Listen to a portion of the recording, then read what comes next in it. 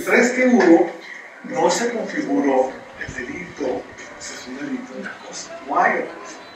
Porque hay un mal comportamiento, que ahí es quizá una comunicación indebida por un medio indebido, quizá a un profesor se le pasó pues platicar por chat de Facebook este, y temas personales. Pero en ninguno de los casos hay algo sexual o algo que se configure como acoso o hostigamiento sexual, en ninguno de los casos. Hay mal comportamiento, que en ese sentido fue sancionado me gusta sus ocho. Eh, pero ninguno de los casos, creo que obviamente son, las acusaciones en particular pues son, no son públicas, no pueden ser públicas. ¿no?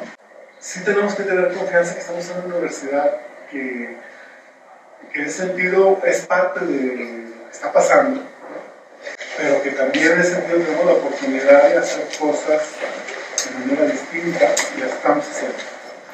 Es importante lo que les decir.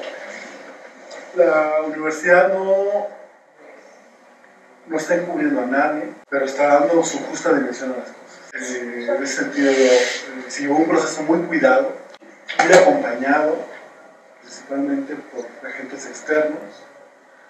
Y en ese sentido, el que haya dado ocho días a ciertos profesores eh, implica que lo que se encontró fue una situación que pues, pero no es como lo están planteando los medios. Si ustedes, y las invito a revisar las declaraciones que están textuales de la rueda de prensa días del rector, eh, en ningún momento se dice que es por acoso. O sea, la, la acusación pues, pero lo que encontró en la sanción no es por acoso.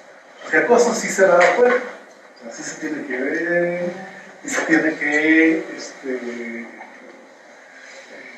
activista, la autoridad.